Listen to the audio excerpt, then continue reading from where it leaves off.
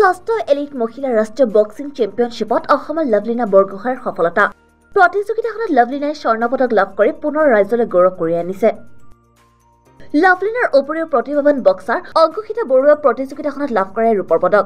মধ্যপ্ৰদেশৰ ভূপালত যোৱা ঊনৈছ ডিচেম্বৰৰ পৰা আৰম্ভ কৰি প্ৰতিযোগিতাখন ছাব্বিছ ডিচেম্বৰত সোমবাৰে সামৰণি পৰে।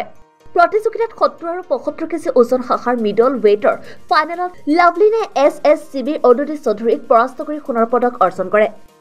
আনহাতে তেষষ্ঠিৰ পৰা ছয়ষষ্ঠি কেজি ওজন শাখাৰ ৱেল্টাৰ ৱেইটৰ ফাইনেলত মধ্যপ্ৰদেশৰ মঞ্জু বাম্ববৰীয়াৰ বিৰুদ্ধে পৰাস্ত হৈ ৰূপৰ পদক অৰ্জন কৰে অংকুশিতা বড়োৱে অসম বক্সিং সন্থাৰ সম্পাদক তথা বক্সিং ফেডাৰেশ্যন অৱ ইণ্ডিয়াৰ সম্পাদক মহেন্দ্ৰ কলিতাই দুয়োগৰাকী খেলুৱৈলৈ অভিনন্দন জ্ঞাপন কৰিছে।